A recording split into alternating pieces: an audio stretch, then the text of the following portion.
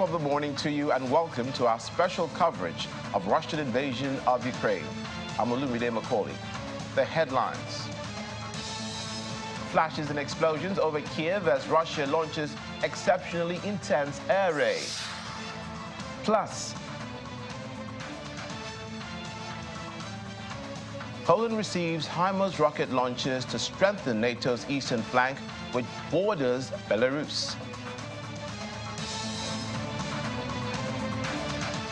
For the first time, Russia claims downing of British Storm Shadow missile.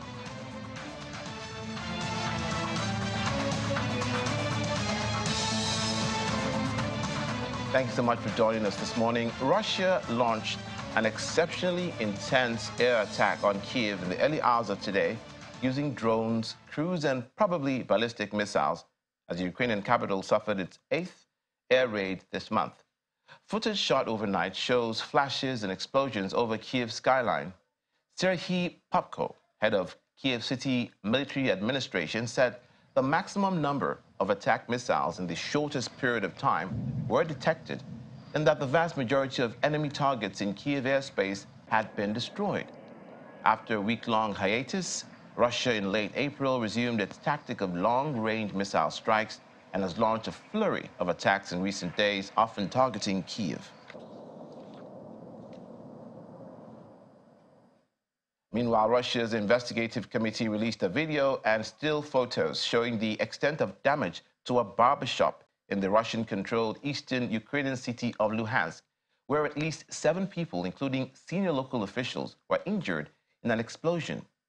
Now, local media reported that Igor Kornet, the Moscow-installed acting interior minister of the self-proclaimed Luhansk People's Republic, was in hospital, connected to a ventilator, having suffered head injuries.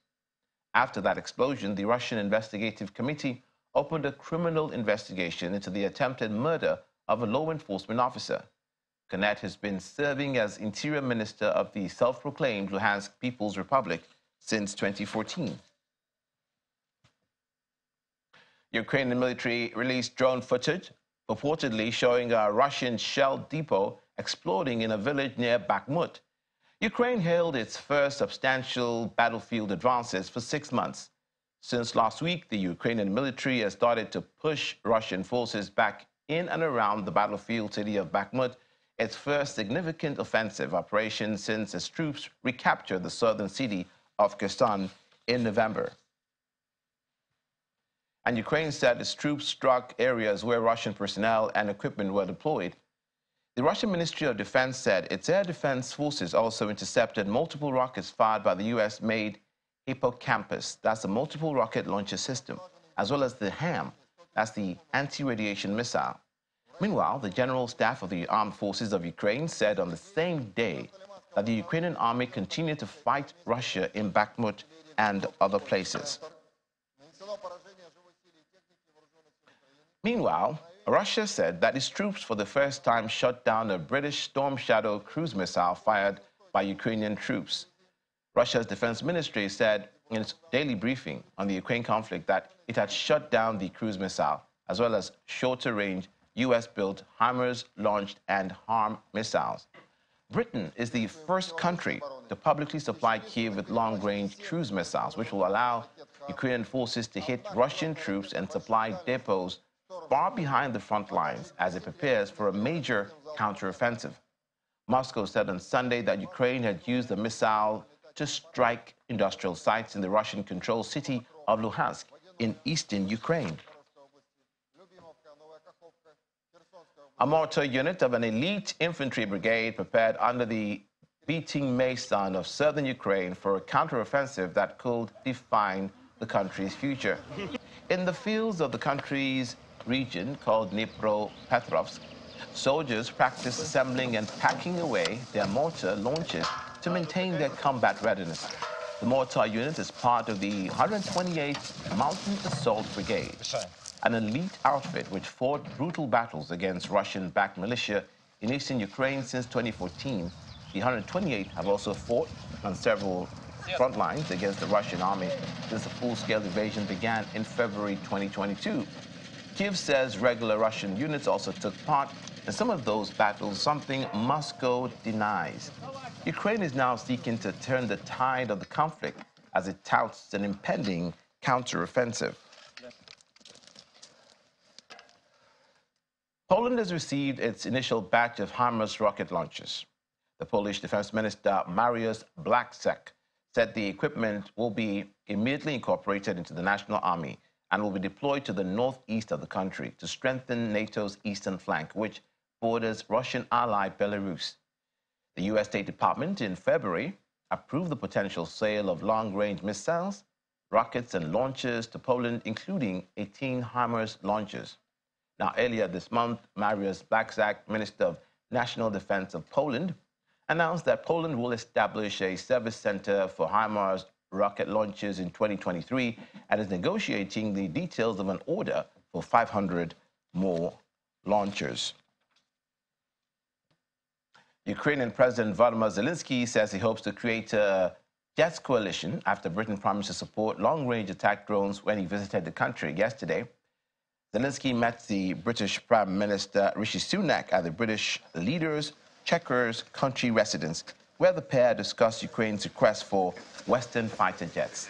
Zelensky's short visit came following stops in Rome, Berlin, and Paris during a European tour aimed at securing new weapons for Ukrainian counteroffensive against Russia. Britain said it will begin basic training of Ukrainian pilots this summer, hand in hand with UK efforts to work with other countries on providing F-16 jets.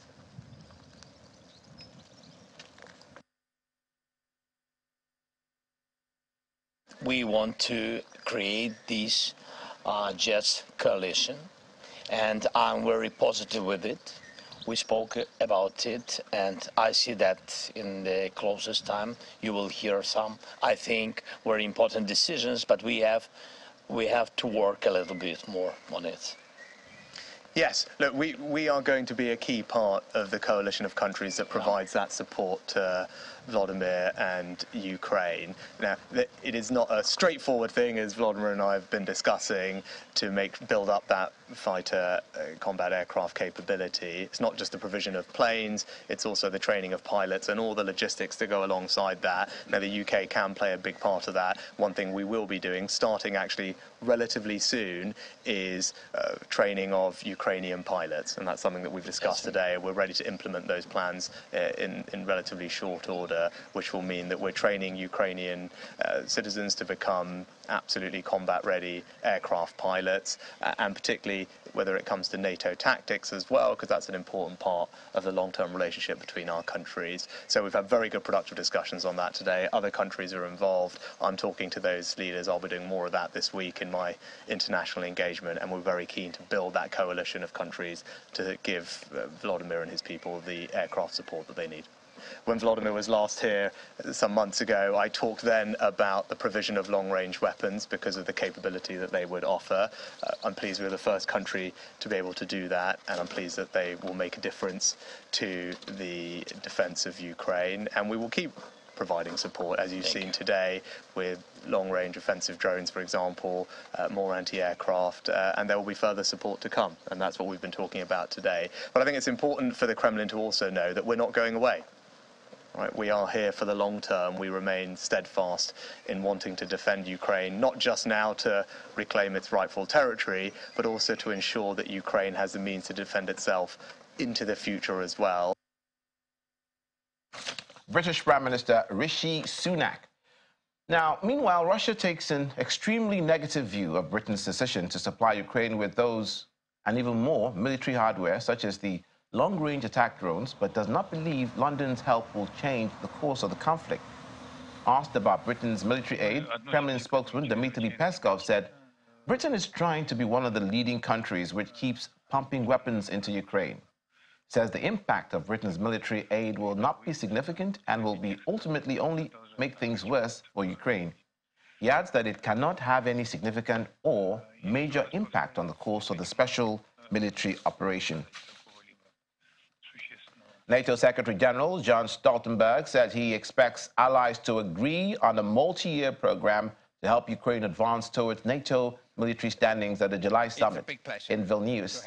Speaking at the Copenhagen, Copenhagen Democracy Summit via video link, Stoltenberg says NATO will help Ukraine move towards NATO membership. Ukraine is striving for eventual NATO membership as it acquires advanced Western systems from supporters in the alliance to fight off the Russian invasion. Stoltenberg says he plans to leave his post as NATO Secretary General when his tenure ends in October. I also expect that we will agree a multi-year program for Ukraine where we will work on how to um, um, help Ukraine to transition from Soviet era standards, uh, doctrines, equipment to NATO standard uh, doctrines uh, and equipment and to be and, and, to become fully interoperable uh, with NATO. And of course, uh, to do that um, also helps them to move towards NATO uh, membership. Uh, and then, um, and then uh, I also strongly believe that all allies will uh, state that, of course, the most urgent task now is to ensure that Ukraine prevails, that President Putin do not, does not win this war.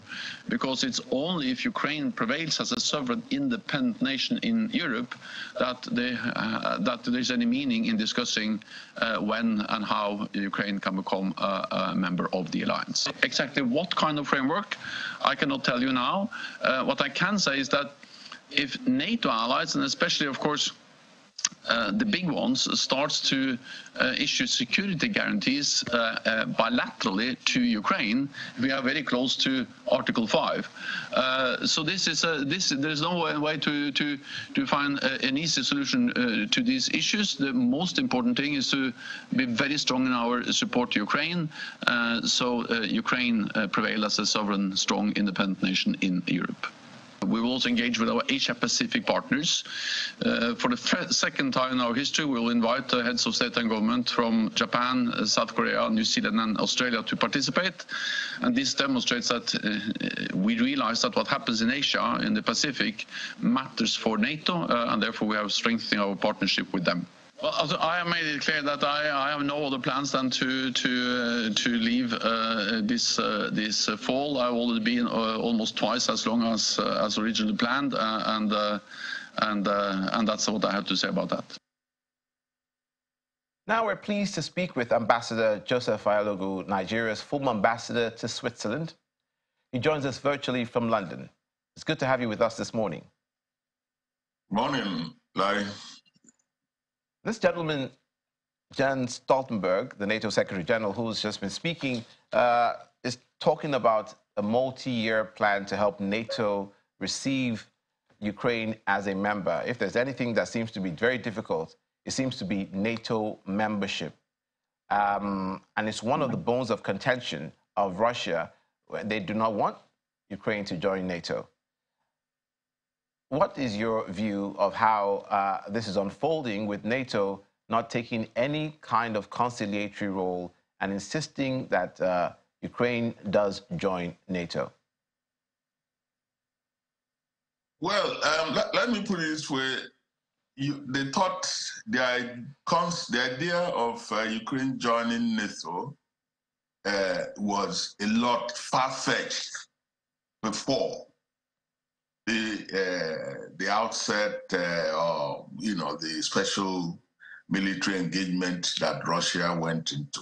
Um, it, it, was, it wouldn't have been one of the things uh, the other NATO members would have been talking of rushing into, or even talking about it at all in, in, in the open. But now we can hear a lot more talk about um, Ukraine joining the NATO uh, defense alliance, and I will put it all to the decision by Putin to deal with his problems or concerns in the region, well, in, uh, in, in Ukraine and all the other parts of the former Soviet Union through aggression. So that that's that's the point that needs to be made. Um, listening to Stoltenberg, well, he he he presents the uh, option, the po possibility of uh, entry, uh, Ukraine's entry into NATO, but I can also hear that he he says it's going to be a gradualist approach, and uh, uh, he, he, even mentioned some uh, bilateral engagements, uh, security engagements with Ukraine um, as possible first steps. I, I, I think that's what I heard. So these are all possibilities. Ambassador, do you think Ukraine should insist on joining NATO in the interest of peace? Further down the road, when there are negotiations, do you think Ukraine should concede that and give it up? Well, I, I yes, it's possible, but Ukraine has a dilemma. It's it's dealing with an existential situation. If it didn't have Russia's Putin and or Russia's uh, Putin's Russia pressing this aggression and uh, going for a kill. We we still haven't had Putin withdrawing. Instead, it's talking of uh, more more more more conquest and so on. Um, you find that Ukraine uh, sees itself almost unable to take any other decision but to push towards joining NATO. Uh, so that's how I say it.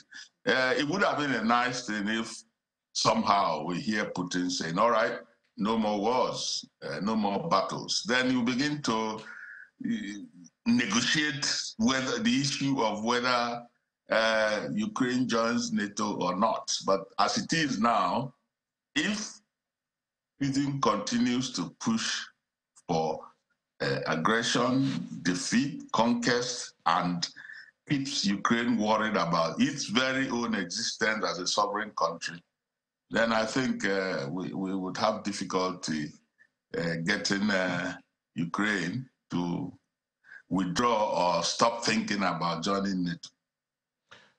For a country that is having a lot of problems making headway in their aggression in Ukraine, it seems uh, the existential threat that you just mentioned in your submission and which European leaders have also mentioned uh, is maybe um, far-fetched?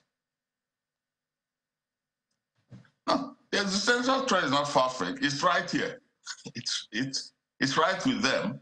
They have uh, had their towns bombed, deaths, and then there's no, there's no talk of withdrawing. There's no talk of relenting by the aggressor. So uh, we need to begin to hear talks of uh, a withdrawal or an end of this uh, so-called uh, well special operation, which of course is a war. That's what the that that, that, that actually should help matters. I think that that should be simply logic. Um, I don't know how it's going to come up.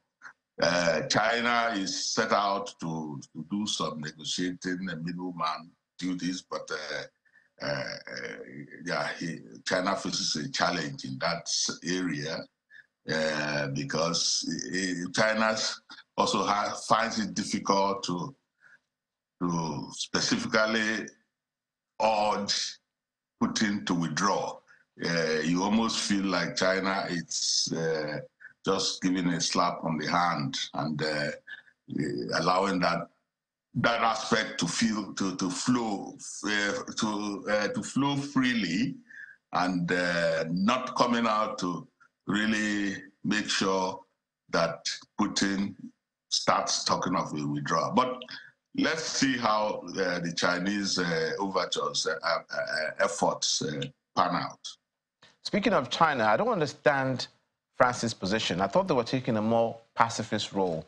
Maybe you could help enlighten us because and recently, Macron and Jinping were speaking, and uh, France is seeking uh, Chinese collaboration in areas of the economy and what have you. But here is Macron saying he's sending cruise missiles, and, and they seem to have done an about face to support Ukraine as much as the UK have been. You mean uh, France? France? France, yes. Yeah, France. Well, France France is part of NATO. France is part of uh, uh, uh core Europe. France uh, believes, like the rest, that uh, um, that uh, Ukraine has to be helped, assisted to defend itself. And anything that uh, is supposed to help that defense, uh, I can you can understand why why France would be put, giving whatever it, it can give. And there's a lot that Ukraine needs, which it's, it's not getting yet because uh, uh, they, they're still worried about not escalating the war too much. But you see, as Putin persists in trying to crush uh, Ukraine, then some of the countries, for instance, uh, France, will be bringing in whatever supports that are needed. so that that is the concept, I, I context I see uh, Macron's uh, input, recent input on this matter. So now that's a definite policy shift from a more pacifist role. Well, would we say that uh, France is, is pacifist? No, well, France has been playing it the way the EU and the rest of the NATO has. Just that we hear more about, uh, uh, well, in terms of uh, degrees of participation, we can say, well, UK, uh, Germany, but we wouldn't say that. Uh, uh, well, you talk of pacifism. Yes, Every all all all the all the European countries want a Pacific arrangement that is peace. But in the absence of peace and the and an indication of there there is no clear ingredient that will lead to that peace, at least in the in the immediate future, uh, which is uh, of course withdrawal of uh, the Russian aggression. Then, like I said, every European country would chip in, and they are they are doing it uh, in their various with their depending on their various capacities and so on. So I, I wouldn't say there is a shift from France, Macron. It's just in line of what the situation throws up. So it appears that people who are nations, beg your pardon, who are formally trying to uh, play a mediatory role seem to be dropping by the wayside or seem to be maybe shifting their positions a little bit. Uh, let's talk about Iran, who, according to an allegation from the U.S. military, are increasing their partnership with Russia to supply weapons. And we know that we know their history with Israel. And Israel was early in the conflict trying to speak to Russia. And then you know, it, se- it seems to be that seems to have lost steam. Israel has its own issues it's, it's, it's dealing with right now. Yes, and that's the point. It has, they have their own issues, you know. But one thing that makes it a little bit rather difficult for uh, obvious support of Russia is the fact that Russia is an aggressor an aggressor country and has broken rules of international relations. So very few countries really feel too comfortable about that. Yeah, Back to China, who, yeah. Back to China, who's yes. sending a, an envoy uh, to go around and uh, speak to the Ukrainian people, speak to the Russian people. I thought this was my aha moment. Okay, we, we know that China, after the Xi Jinping phone call to Zelensky, was beginning to back their words with action. How far do you think this trip by the China envoy will help to simmer things down? Well, it uh, depends on where he's going and what impact those countries have on the war. The single country that has a significant impact on this war is Russia. And what this war needs to stop is to at least stop one of the aggressors, I mean, one of the participants, and it's best to start with the aggressor, especially if the aggressor is, has presented no other option. Uh, if if uh, if Putin said, okay, uh, don't go, don't join NATO and we withdraw. Then we will now see what is on the table. But that hasn't come up yet. Situation is that Putin is out to, to grab Russia, uh, Ukrainian territory. He's done it before, 2014. He's, he's done it again. Yeah, he's uh, carved out republic. So nobody sees an end to that. And it doesn't help people, uh, any country that would have wanted to uh, mediate uh, or support Russia to, to see how to get about doing it. Anyway, uh, uh, China is trying and is putting out its good offices to do it. That's why it's going around. But we, we would like to know how that comes up anyway. Indeed. Um, and for every fatality on both sides. There's a family bereaved in both countries. Thank you so much. Always a pleasure uh, for talking to us this morning. Ambassador Joseph Ayalogu, Nigeria's former ambassador to Switzerland, who joined us from London. Yeah, thanks, Larry. Have a good day. Okay, after the break. China's special representative for Eurasian affairs and former ambassador to Russia, Li Hui, to visit Ukraine on a peace mission. Details in a moment. Please stay with us.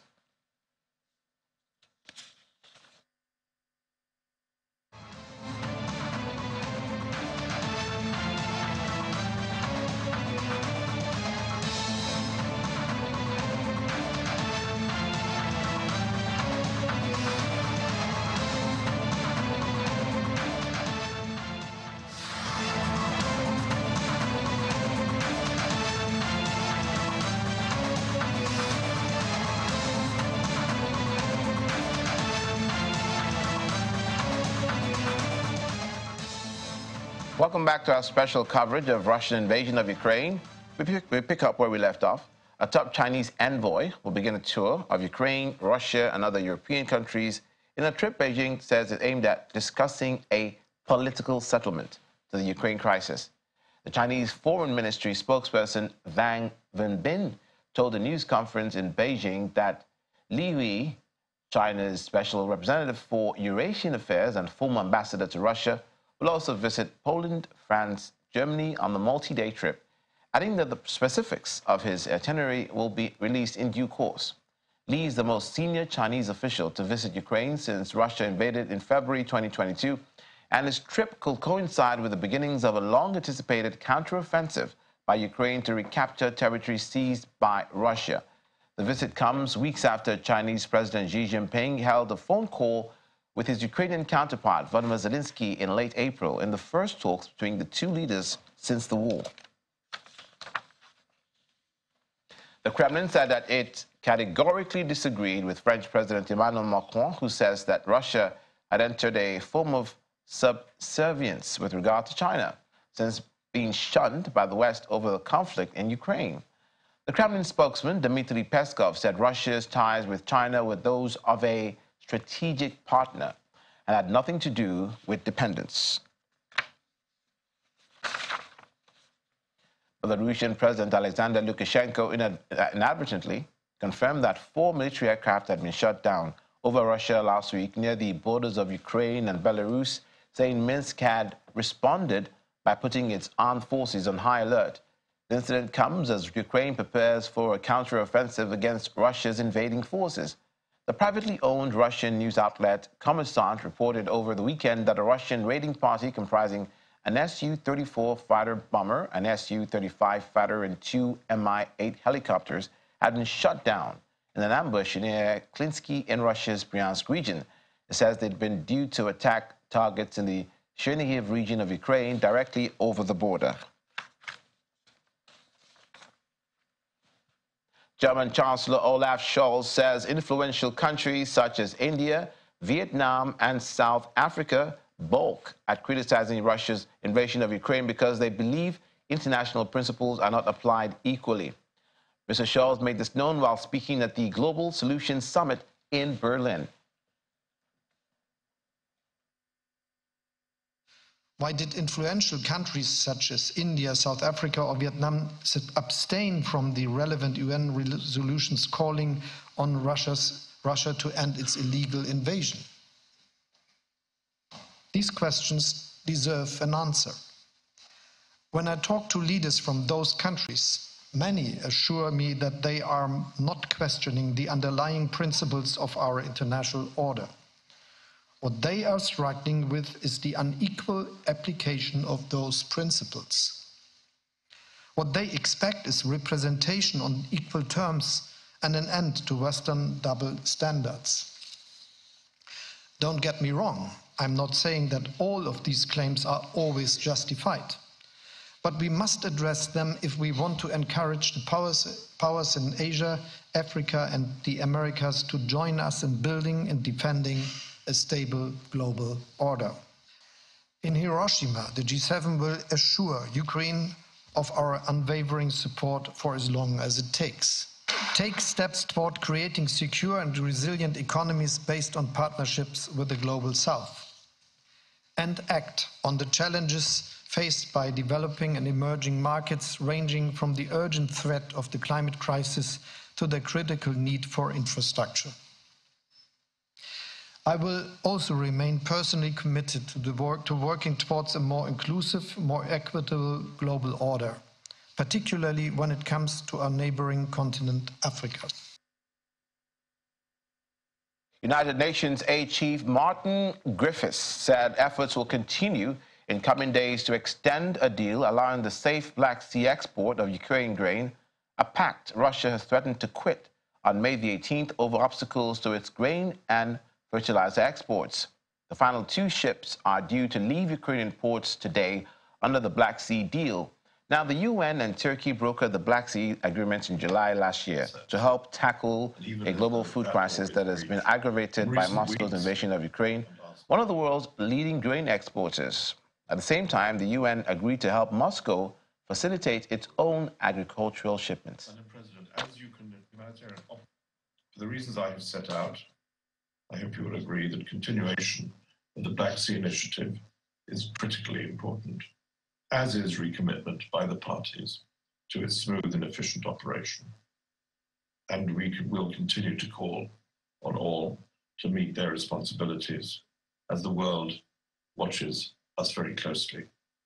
In recent weeks, and last week in particular, we have engaged in intensive discussions with the parties to the Black Sea Initiative to secure agreement on its extension and the improvements needed for it to operate effectively and predictably. And these efforts will continue and focus in the coming days. The initiative refers to the export of ammonia, but this has still not yet been realized. Over the past month, we have also unfortunately seen a reduction in the volumes of exports moving out of Ukraine's Black Sea ports due to challenging dynamics within the Joint Coordination Center set up by that agreement of 22nd of July last year in Istanbul, and thus a related slowdown in operations. We call on Putin to stop holding the world's hungry hostage and extend and fully implement the Black Sea Grain Initiative. We again call on Russia to end its attacks on the people of Ukraine and withdraw its forces from Ukraine's territory completely Russia alone has the power to end the war it senselessly started.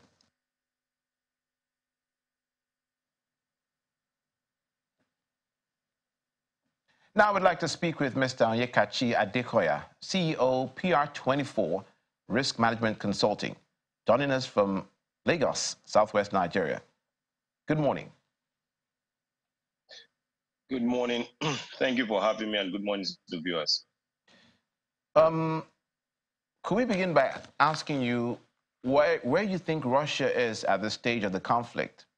With a stalemate in Bakhmut, which seems to be a stalemate, both sides not making too many advances, aside from denying or corroborating that there were certain skirmishes and certain forays in different areas. But the supply lines uh, that the Russians want to destroy are still being held by Ukraine. And no major offensive from Russia. Has their campaign lost steam? Uh, thanks for the question. It depends on who you are listening to and um, where you're getting some of the reports from. The reports would suggest from Bakhmut that um, the VVD fighters, um, in collaboration with uh, Wagner, the private military contractors, um, which are born out of the Russian intelligence, uh, military intelligence arm, um, have now reached the final defense line of the armed forces of Ukraine in Bakhmut. Um, Bakhmut, they now control what is now known as the Citadel area. Um, so Bakhmut is on the verge of um, final collapse. Um, Bakhmut is a, it's a matter of um, days, um, not if at all it will collapse. So there's some progress in um, some areas. Uh, it's just what we see for now is some positional fighting along the lines of contact. Um, some parts of the Avdiivka area, um, some skirmishes around Zaporizhia. Um, so it's all positional artillery drills. And then what you have going on is a war of attrition. Don't forget that Russia still controls over 20% of uh, what is considered Ukrainian territory. And for now, there is no considerable threat to their chokehold on the territory. Now, what we've seen Russia also do is also to go after um, Western supplied ammunitions. And we've seen a number of ammunition depots blowing up in Ukraine just behind the front lines. And it would seem as though the Russians are targeting Ukrainian capability to stage a meaningful counteroffensive, which is why you've not seen the counteroffensive start. And even if you've listened to President Zelensky and even Zaluzhny, who's um, the head of the Ukrainian military, who interestingly nobody has heard from in the last 14 or 11 days, um, you will see that Ukraine wants to start the counteroffensive, but they also know that um, having some munition in depth is also very important to wage a successful campaign. Otherwise, um, Ukraine may find itself in a position where it burns out too early. So we're not seeing the counteroffensive start. Um, Russia on its part is gradually escalating. Over last night, we understand that uh, there were um, air raid sirens all over Ukraine, more than 30 missiles or so um, threatening Kiev and some landing in Kiev and some parts of Western Ukraine. So uh, this is a war of attrition. Um, no side is um, winning as of yet, but Russia controls territory with the ability to escalate even further. I think that's a fairer sense of things. President Zelensky seems to have been buoyed by the support from the countries such as the UK, France, and other Germany, who are supplying them weapons at the moment. Is there, and there was a top Ukrainian official who says that Russia's defeat, even maybe this year, towards the tail end of the year, will be irreversible as a result of the supply of some of these weapons and their defense and counteroffensive. Is there a danger of Russia being underestimated? So not at all, not at all. Because if you look at the U.S., um, the leaked Ukrainian um, report, U.S. report on Ukraine, where the Americans have said that Ukraine is likely to run out of air defense by the end of May, we are now approaching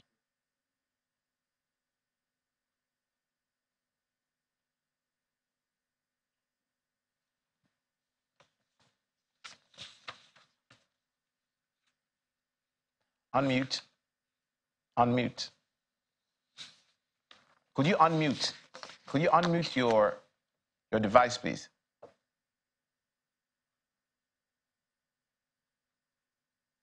Could you unmute your device? Sorry to interrupt you. Could you unmute your device?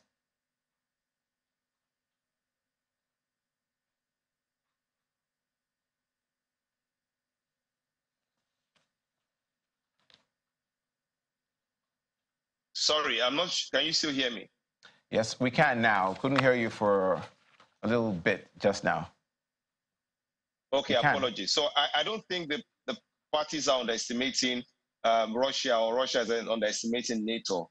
Um, what I think is happening is that if you look at the attack on the Kremlin, you just have subtle nudges um, subtle irritation on the parts of the parties, um, and in some stance, trying to gouge Russia into a full escalation um, with, with um, perhaps the intention of a full-on um, head-on NATO escalation or maybe some other geopolitical consideration. So I don't think the parties want to see an over-escalation from Russia, which is why you will see more or less sabotage attacks, um, attacks aimed at weakening Russia. If you listen to the German chancellor, you listen to the um, President Macron, the aim of NATO and Europe is just to forestall another event like this in Europe, not necessarily to determine what happens on the ground in Ukraine as it is today. Um, Russia, remember, has not gone after the civilian infrastructure that makes life meaningful in Ukraine. They still consider Ukraine as their Slavic brothers, um, which is also causing some irritation for the Russian president in, in Russia. Some some hard some hardliners are insisting on the full and total destruction of Ukraine, even leading up to um, the use of nuclear weapons. So um, the it will seem like um, Russia and under the leadership of President Putin is taking a nuanced approach to some of this skirmish, perhaps um, in his own calculation that um, the will um, of the Western side to support Ukraine may wane over time. So I think that the, the, the plan of uh, Putin is to play long in this war, while the plan of some provocators on the part of um, the West, you also have hardline uh, uh, neocons on the part of the Ukrainians, um, are gouging Russia for a full-on escalation. Now, if you look at the destruction of um, the Russian air assets, you, you can see that first the tactics used was the deployment of American decoy missile systems, um, the deployment of the um, Storm Shadow uh, missile systems, and then, of course, some man-portable air defense um, systems just in an area where Russia least expected. Um, and some of this action would seem to suggest um, a poking of the Russian bear to uh, further escalate um, this, this crisis, which follows on the attack on the Kremlin, then the attack on Sevastopol, um, which is why you see Russia stalling on the grain, grain project. So uh, this is a war of attrition. Um, I don't see Ukraine winning. I don't see Russia losing. I also don't see NATO losing. So in between, somewhere there, um, a compromise has to be reached. And, and so I don't think the sides are underestimating themselves. As early as last year in the war, finally, Mr. Adekoya, Russia, if we're to believe the United States military, have lost 55 air, aircraft. And we know how capital intensive it is to purchase those aircraft. Do you, do you see um, Russia running out of equipment? Um, for now, Russia, Russia doesn't look like um, it's running a risk of running out of equipment, but it's no mean feat. Um, currently engaged in a war of attrition with over 31 countries at the last count, um, as opposed to what the previous speaker said, um, that Russia lacks support internationally. That's not true. The total um, size of the population um, that are almost in alignment with Russia compared to that of the West. When you look at Iran, India, China, um, the BRICS nations, there's a considerable part of the globe that, um, I mean, like the German chancellor said, uh, they want a fairer based um, global system, not a unipolar world. Um, so that aside, we, have heard reports of supply of ammunition to Russia from South Africa, from North Korea, obviously from Iran, some supply of systems covertly, albeit from China. And um, Russia's um, defense industry is already on a war footing. Remember that Russia is a successor entitled to the former Soviet Union, and the Soviet Union all their life uh, prepared for a full-on war with um, NATO. Um, so Russia still has a lot of ammunition um, old um, Soviet Union um, stockpiles that it can call upon. Before the start of the war, it was estimated that Russia had over 17 million stockpile of um, artillery, which is why you see that uh, Russia has not run out of um, artillery shells. Um, so their defense industry is already on a war footing. Russia has been a net exporter of base metals, um, systems, military systems for a very long time um, since the recovery of its economy in the early 2000s. So Russia doesn't seem um, to me to uh, be running out of equipment, though they are beginning to, the war is beginning to take its toll on them. And the okay. danger is okay. at some point, um, yeah, Russia may have to use the nuclear weapon. Okay, thank you so much for your submissions this morning. Mr. Onyeka Adekoya, CEO, PR24 Risk Management Consulting, joined us from Lagos. Thank you for having me.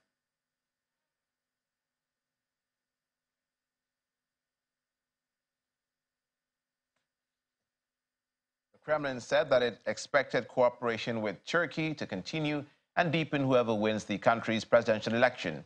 Now, the Turkish President Tayyip Erdogan or opposition rival Kemal Kılıçdaroğlu appear to have achieved more than 50% of the vote needed to win outright, meaning a second round will be held on May the 28th.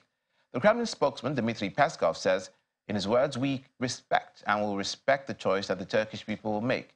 And in any case, we count on our cooperation continuing, broadening, and deepening whoever wins the country's presidential election.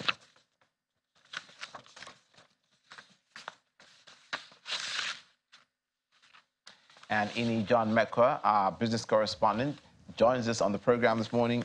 Ini, good morning. Good morning. Mm -hmm. It's always important to see how the world of business is affected by this conflict. Yeah. What is the main salient issue at this time? Well, I think one of uh, yesterday we talked about how the rand, uh, South Africa, has nosedive. Uh, today we'll be looking at the ruble. The ruble has also reduced in value and um, a, a, lot of things are putting up to this. Uh, we do know that oil prices are getting stoned or caned from different angles, and we see it's reducing. Uh, I think by this morning we saw Brent at 75. That's uh, very slim for Nigeria, for instance, because our budget, 2023 budget, has the benchmark at 75. So we're very close on the edge there. It means just one slip away, and then we're, we're off the benchmark, which is risky for us. That means our revenue won't, that means our deficit, our budget deficit will be higher than what is even more than the 10 trillion and all of that. But, right. uh, I mean, looking at the, at the, uh, at the ruble this morning, uh, we also know that oil is a major revenue for Moscow for Russia. So even though they are being, they have the cheap oil going on for China and India and all of that, we still see it affecting their budget, affecting um, their money, that is the ruble, because we also see the G7 looking at ways of enforcing the third party or secondary sanctions on Russia. So yesterday we also talked about the risk of second sanction on South Africa, which is one of the reasons why investors are running away from that. So if you have uh, more implementation of the secondary sanctions, that means that more people will run away from doing business with Russia. Um, even the cheap oil might get even cheaper. So all that is, is weighing on the economy, weighing on the ruble at this time. So yesterday we saw the ruble really drop to as low as it was, I think, about a year ago or so.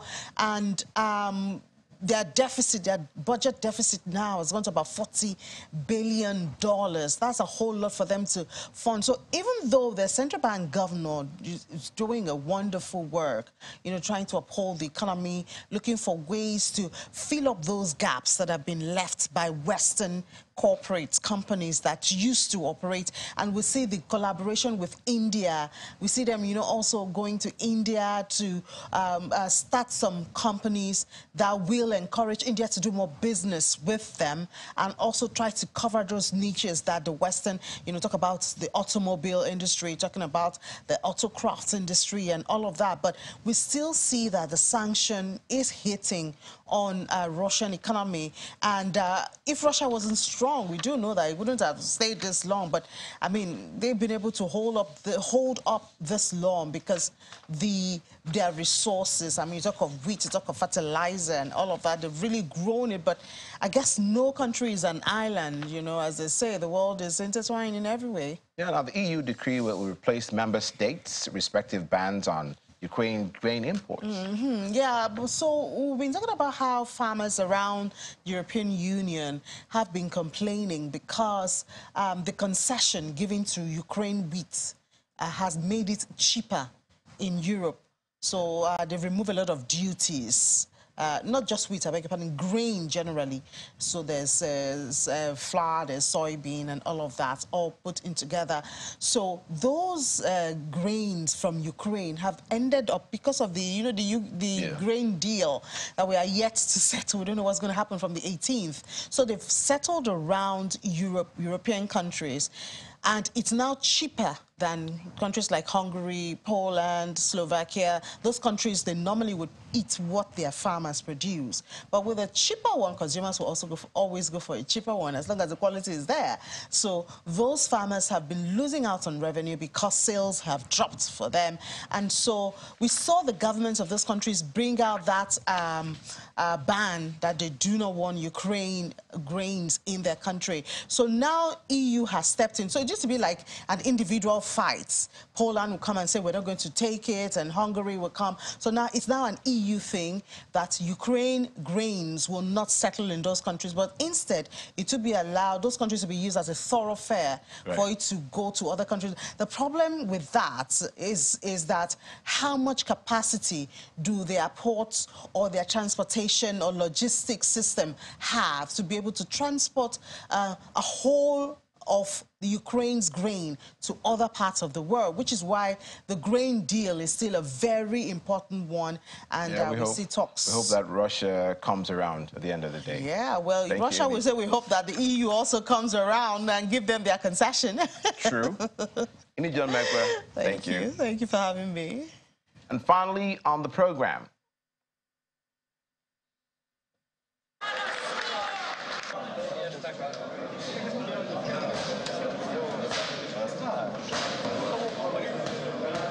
Ukrainian boxers fought a series of friendly matches in the Kharkiv underground station. Local authorities organized a tournament underground due to security concerns as Russian missiles continue to hit the city. For the first time since the beginning of the war, boxers from two teams, the Ukrainian Olympic team and the Kharkiv team, could compete against each other. Middleweight boxer Naimov Yuri Zakhariev says he was preparing for the European Championships at the training camps in western Ukraine. But within the security of Kharkiv's defenders of Ukraine metro station, Zakhariev fought in a friendly for his hometown, dressed in red. As the 2021 World Amateur Champion, he was one of the most prominent competitors in the tournament.